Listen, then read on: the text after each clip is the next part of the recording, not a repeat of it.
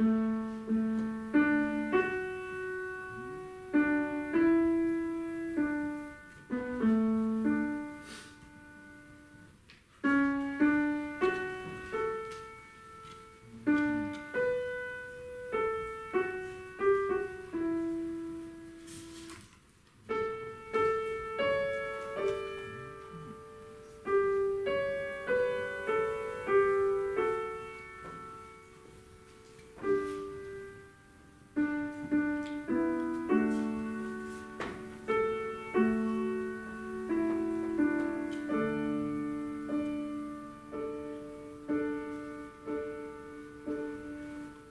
Se dentro me ho perso la speranza